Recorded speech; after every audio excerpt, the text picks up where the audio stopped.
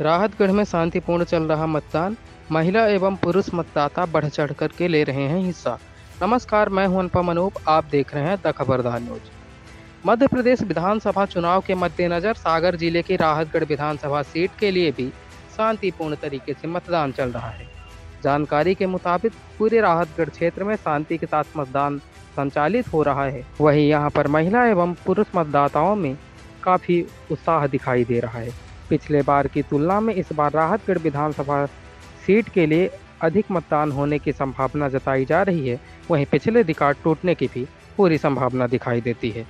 महिला एवं पुरुष मतदाता दोनों लगातार काफ़ी संख्या में बढ़ चढ़ करके मतदान में हिस्सा ले रहे हैं।